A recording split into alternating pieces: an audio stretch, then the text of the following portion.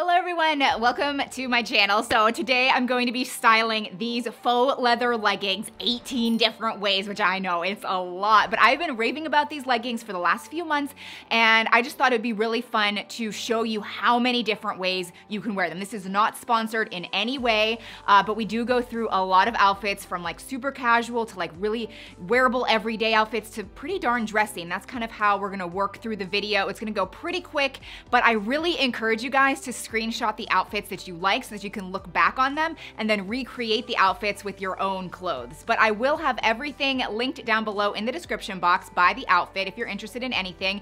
But I do encourage you guys to maybe consider these leggings. I love them. I wear them so often. I did get the size small petite. So I am five foot five just for height reference. And I find that the petite size is actually really great for my height. So just take that into consideration. Um, but let's get started.